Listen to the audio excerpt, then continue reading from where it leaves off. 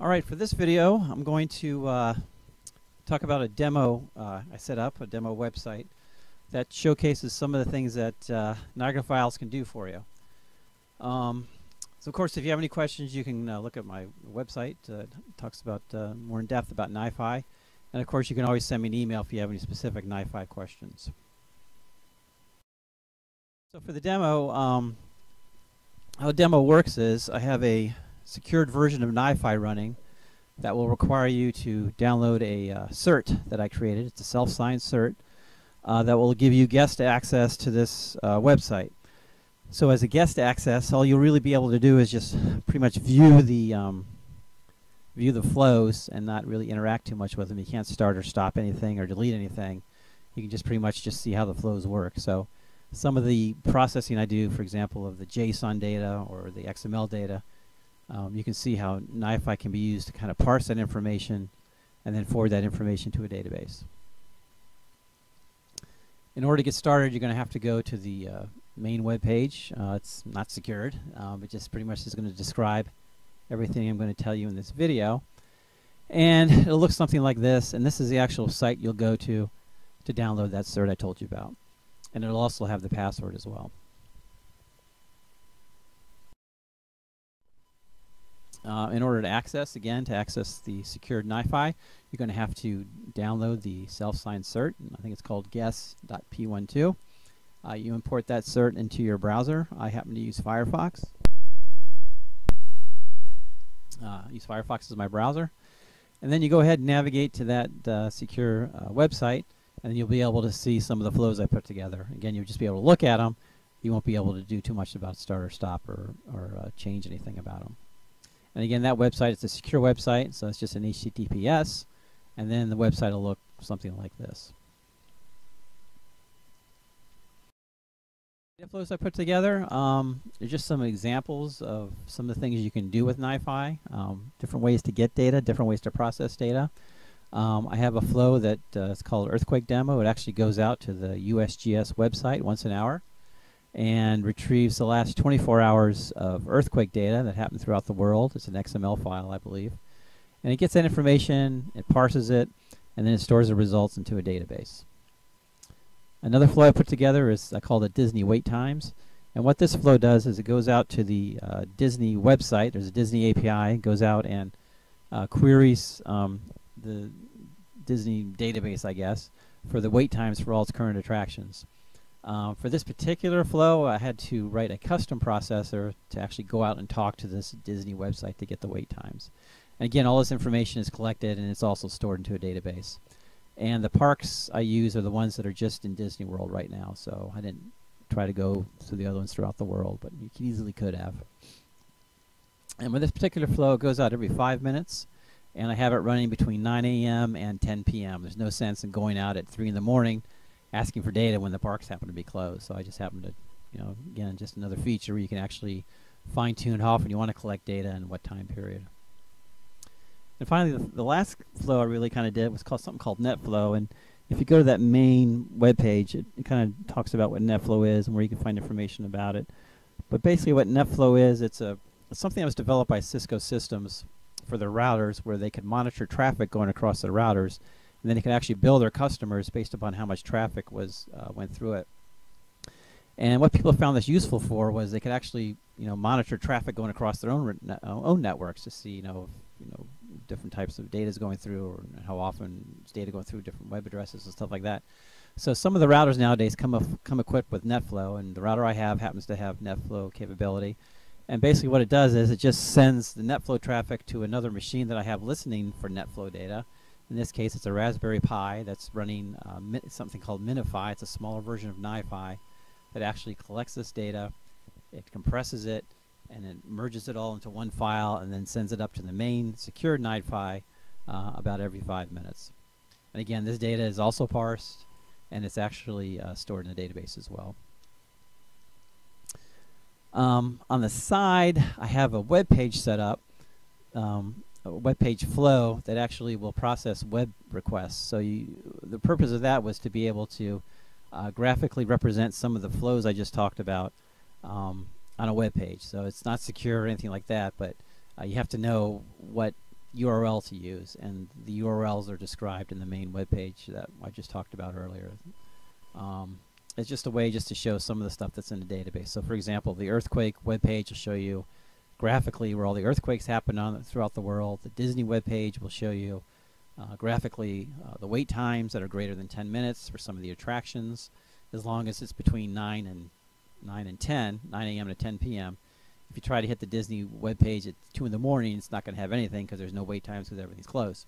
Uh, and then the NetFlow shows you the NetFlow traffic going on in my home um, in the last 24 hours. And with that said, let's go ahead and look at the demo. All right, so this is the uh, unsecured uh, NiFi demo. Um, you can see the top is uh, www.nifidesigns.com, and this takes you to the uh, overall page that describes what the uh, demo is all about. Talks a little bit of some of the different flows, has some of the URLs of where you can look at some of the web uh, results, and then we actually have another page that shows all the URLs for the web page results. So the first thing you're going to have to do is um, uh, go ahead and uh, we're going to download that guest cert I was talking about. So you just click here and you'll go ahead and save it download it. We'll go up here and go ahead and see that we actually downloaded it. I think it's called guest.p12. There it is there. And what we're going to do next is go ahead and, uh, again, I'm using Firefox. We're going to go ahead and import that cert into our browser. And how we do that is we just go down to Advanced and click on Certs, View Certs, and we're going to import a cert in the lower left center here, lower center here. We're just going to import that cert and then we're going to grab the password that was on the main web page. Uh, let's go back to that web page for a second. And grab that password. Whoop. And use that password word uh, for our cert. Associate that with our cert. So again, we're going to go ahead, go over, import the cert, and then we're going to put that password in. And now we've imported the cert. Okay. And we can go ahead and view it and see that, yeah, we actually have it. It's called NiFi Guest. and now we're going to go ahead and close everything out and then go to that actual secure website. And again, since it's self-signed, it's going to say that it's not secured. Uh, if you just go click Add Exception, Get Certificate, confirm the exception, it should take you right to the NiFi website that I put together. And I'll give it a minute here. And here it is. So here's the secured NiFi demo page uh, with the three flows I was talking about, as long as well as the web page flow at the bottom. Um, let's go ahead and shrink these out a little bit and kind of zoom in. So you can see at the top we have our earthquake uh, event group that we I talked about. And if you double click on here, you can look inside to see how the flow works. Um, like the first thing, for example, would be acquiring the data and you can see that um, there's a couple processes I have here to go to the actual USGS website. It actually goes out and grabs the um, uh, quake data, and I think it grabs it 13 minutes past the hour. So once an hour, it grabs that data, and then goes ahead and it gets processed. And if you want to take a look at the status, you can see for the last, um, I don't know, 12 hours or so, um, the number of flow files we took, and again, it's once per hour, so that's what you'd expect to see is one flow file every hour being pulled out from this processor. We go back to the top and we look at, um, let's see, the Disney World one. Um, similar thing, acquire the data. In this case, um, if you look at the Disney wait times, this is a custom processor I wrote. So if you look at it, you can just see that, you know, it looks like a regular NiFi processor, except I selected which parks you can actually query. I query all of them in this case. Um, and then the other thing is you can look at the data that's been generated. And in this case, it's uh, every five minutes. You can see there's a downtime between 10 p.m. and 9 a.m. So every five minutes we grab data except during those hours. And if you look at the top, you can see how, how the query works um, and how the cron works basically. So you can see it's every five minutes between the hours of 9 a.m. and 10 p.m. Okay, so this is going to be something you just go in and just kind of start poking around and maybe seeing how things work. Uh, this data is JSON data. So if we go up a little bit and we looked at the parse JSON, you can see how I actually go through and take this Disney data and parse out the JSON events so I can store it to a database.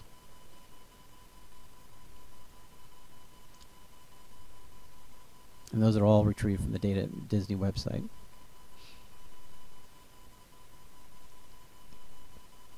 And then we have the NetFlow data. Um, again, similar thing. We have a, a, listener. I don't really show it right now. This is kind of blocked out. I might show it later. But basically, it's a listener that listens for data from the MiniFi in my basement. It untars the file, and then it splits out the uh, entries into single lines, single JSON lines, and then we go ahead and store that in the database. Um, and if you want to look at the uh, at the parsing, how that works, again, it's similar to what you saw in the Disney. It just it's just parsing out the specific NetFlow data information. And finally, at the bottom, there's the uh, web page I put for processing web page. Oh, first let me show you the MiniFi. This is what's actually running on the MiniFi in my basement. Uh, I can go to MiniFi later, but basically, you create a flow and then you just transfer it over to your MiniFi. It really doesn't have a GUI associated with it. In this case, I'm grabbing all the NetFlow data off a certain directory. I'm running what's called a NetFlow uh, NFDump command that formats the data, and then it goes ahead and uh, saves it off, or actually it uh, merges it together uh, makes it make sure it's JSON compliant, and then merges it together, and then sends it out to that remote website that I just talked about. Again, I'm not showing this particular processor at this time. I might show it later. I usually don't show the SQL queries to the database just because I just don't want to do it right now.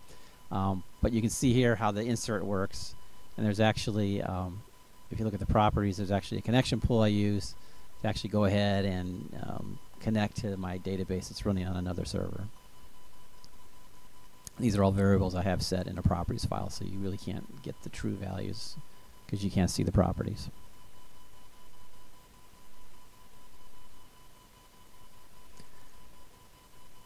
And of course, we can look at all the data that's come through the database. So, you know, this is everything NetFlow, Disney, and the Quake stuff all coming through the database. It comes through at one point. And then let's see, we also have errors I collect. Uh, I don't think I have any at this time, but if any errors were to be generated, I have them all directed over to this processing group here. And since the processing group isn't running, if anything showed up, it just it just hang out here and you can see it. And let's see, I think finally we have, let's see, let me bring this up a little bit and look at the web page stuff. Yeah, so this is how the web pages get processed. It goes through this processor here. Again, I don't show the SQL queries, but I do show the flows. And it just goes through the database and does a query, gets the data back, um, and then it parses out the information. I believe it's, it's, it's, make a long story short, it comes out as JSON and goes through and actually um, selects uh, the JSON data and displays that in a web page. So when you do the HTTP to this website, um, it goes through this flow here. And again, you if you hit it, you would actually see the data go through it. And then finally, the data gets returned at the bottom to the web page request.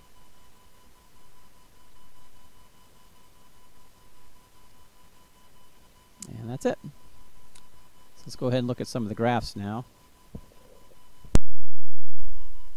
Okay, so we're back at the uh, regular welcome page for NiFi, um, NiFi page. And I'm just going to step through really fast some of these uh, graphs and what they look like and how you can access them. So for the earthquake flow, uh, you just click on this 24-hour um, tab here, and it'll actually show the last 24-hour earthquake data recorded. And then you get like a, a Google map thing that's showing uh, little uh, icons of where all the earthquakes happen. Uh, if you click on one of the little pins there, you can actually get a description of um, where the earthquake occurred, what time it occurred, the magnitude. Uh, if it's green, it's not a it's a small earthquake, and red, of course, is a big earthquake. Um, and look at the large quakes for the last I don't know however long I've run this thing for last the last week or so. So these are all quakes that are bigger than magnitude five. Um, and again, you can just kind of look through all this stuff and, and figure it out, and just play around with it. Um, so do that. And for the Disney stuff, again, if it's between 9 a.m. and 10 p.m., uh, you can look at some of the wait times. So if we click on the Magic Kingdom one, uh, you can look and see what the wait times are for some of the rides in the Magic Kingdom at that particular time. Uh, again, I only do for the rides that are more than 10 minutes. So if you look at maybe the Seven Dwarfs ride, it looks like it's like a little over two hour wait to go see it. Whereas maybe, uh, let's see, the Haunted Mansion is only 15 minute wait. So again, this is updated every five minutes in the database, and um, it just shows you the rides that are more than 10 minutes long for the wait. And then we got, uh, of course, you can do Epcot, Hollywood Studios, Animal Kingdom, you know, same sort of deal. And then you can finally do the NetFlow processing. You can see the traffic for the last 24 hours in the basement of my uh, router in my basement. Uh, if you click on that, um, you can see for the last 24 hours, so you can see with activity. So maybe it looks like four or five in the morning, something was going on. I don't know, maybe my son was watching some videos or something. Who knows? Um, but uh, you can get a good idea for the traffic. And again, I just happen to choose 24 hours, and I think I've been collecting net flow data for the last month or so. And you can certainly delve into some more you know specifics uh, related to NetFlow as far as you know source destination IPs and all that stuff. You can read all about it um, and play with it in there. And I think that's it. So again, I have all the web page stuff you can go to here at the bottom, and I talk a little bit about MiniFi.